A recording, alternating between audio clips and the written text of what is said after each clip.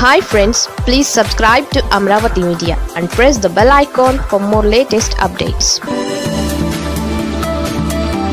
ఇలాంటి వాళ్ళకి జగన్ పదవి ఇస్తే జరిగేది ఇదే. ముఖ్యమంత్రి వైఎస్ జగన్ ఏరి కోరి నెత్తిన పెట్టుకున్న నాయకుడే. ఇప్పుడు ఆయన నిర్ణయంపై తిరగబడ్డారు. జగన్ ప్రభుత్వ నిర్ణయాన్ని నిరసిస్తూ పదవికి రాజీనామా చేశారు.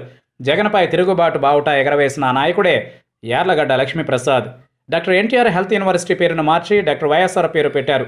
దీనిపై టీడీపీ బొగ్గుమంది టీడీపీ నేతల ఆగ్రహాన్ని అర్థం చేసుకోవచ్చు. కానీ జగన్ ప్రభుత్వంలో నామినేటెడ్ పదవి పొందిన అధికార భాషా సంఘం అధ్యక్షుడు యార్లగడ్డ లక్ష్మీప్రసాద్ మనస్తాపం చెందారు. తన పదవికి ఆయన రాజీనామా చేసి నిరసన ప్రకటించారు. నిజానికి వైసీపీతో యార్లగడ్డకు ఎలాంటి సంబంధం లేదు. టీడీపీ హయాంలో ఆయన రాజ్యసభ సభ్యత్వాన్ని పొందారు.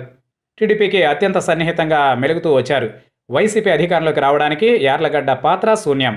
కానీ వైసీపీ అధికారంలోకి వచ్చిన తరువాత ఆయనకు అధికార భాషా సంఘం అధ్యక్ష పదవిని కట్టబెట్టి జగన్ గౌరవించారు. కేబినెట్ పదవి దక్కించుకున్న యార్లగడ్డ గత మూడేళ్ళుగా అధికారాన్ని అనుభవిస్తున్నారు.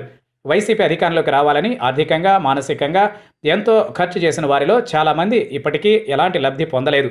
అయినప్పటికీ జగన్ను ఇప్పటికీ ప్రేమిస్తూనే ఉన్నారు. అలాంటిది డాక్టర్ ఎన్టీఆర్ హెల్త్ యూనివర్సిటీకి డాక్టర్ వైఎస్ఆర్ పేరు పెట్టగానే మొట్టమొదట వ్యతిరేకత ప్రభుత్వంలో భాగస్వామి అయిన యార్లగడ్డ నుంచి రావడం ఆశ్చర్యం కలిగిస్తోంది. హెల్త్ యూనివర్సిటీకి పేరు మార్చడం తప్ప ఒప్ప అనేది కాసేపు పక్కన పెడదాం. మనసంతా టీడీపీ అభిమానాన్ని నింపుకున్న వారికి పదవులు ఇస్తే ఇట్లే జరుగుతుందనే అభిప్రాయాలు వ్యక్తమవుతున్నాయి.